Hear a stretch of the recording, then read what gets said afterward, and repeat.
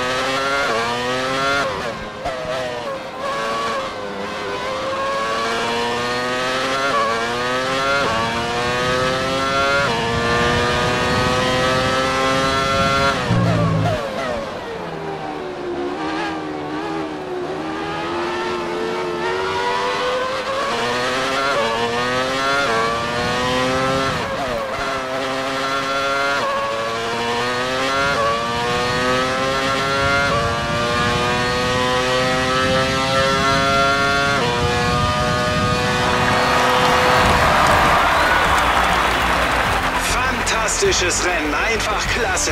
Diesen Rennsieg hast du dir sowas von verdient.